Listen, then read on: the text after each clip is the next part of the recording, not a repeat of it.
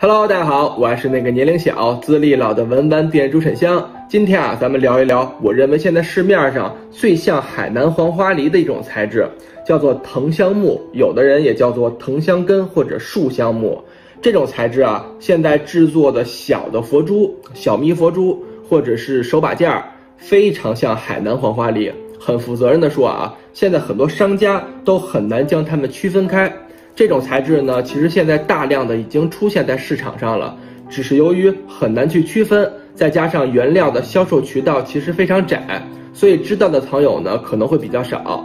藤香木主要产自缅甸和老挝，既然名字叫做藤香木嘛，说明这个木头长得相对来说比较怪，奇形怪状的，有点像藤子的感觉。一般啊都是弯曲怪形。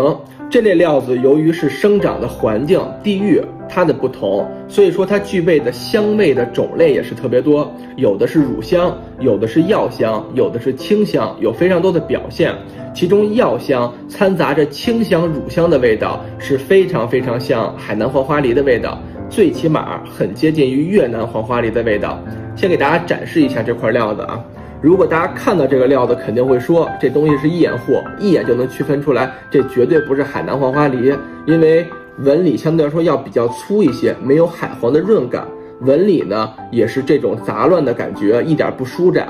但是这个料子啊，最大的迷惑性就是年轮纹以及味道。我可以给大家找一下，这有一块料，像这部分的料子，其实非常像海南黄花梨的鬼脸树阶。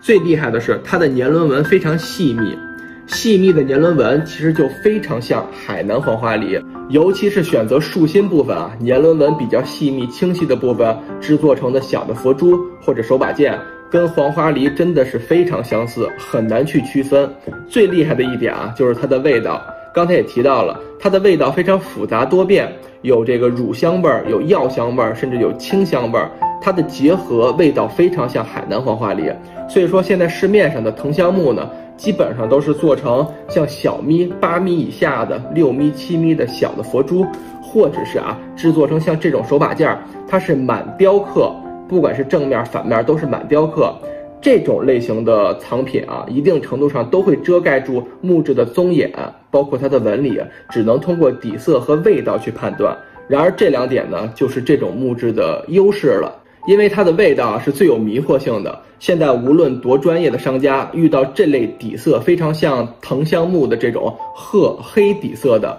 比如说六米的佛珠啊，或者是手把件儿啊，这种都无法判断到底是海南黄花梨的还是藤香木的。所以说，劝诫大家啊，如果想玩海南黄花梨的佛珠，尽可能的还是玩八米以上的，能清晰的看到底色、看到纹理，这种料子呢还比较有把握。如果真的想玩六米的佛珠，那一定要找到非常靠谱的商家，要不然呢，就是玩这种透黄底色的，就别玩这种底色了。因为像藤香木的话，它的底色一般比较深，很少能看到金黄或者橙黄底色的料子。所以说，真的想玩小蜜的佛珠，就玩一些发黄底色的，就算它是康里啊，也不怕。这种黑褐底色的啊，尽可能的还是不要碰了。同时呢，只要市面上看到了。底色发黑褐色的满雕的黄花梨的手把件，也尽可能的不要碰。